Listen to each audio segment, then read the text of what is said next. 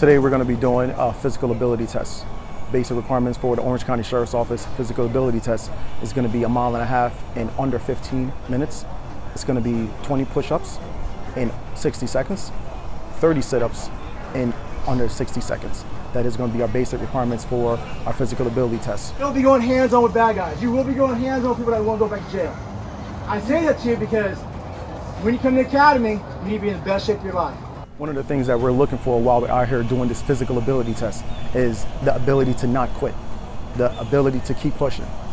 Understanding that the physical requirements may be hard, may be easy for some, but we're looking for consistency, we're looking for motivation, we're looking for if the next person is pushing harder than the next person, we're looking for teamwork. We're looking for so many different traits in a Orange County deputy.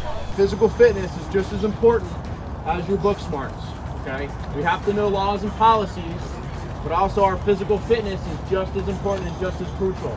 We put a huge emphasis into physical fitness here at the Orange County Sheriff's Office.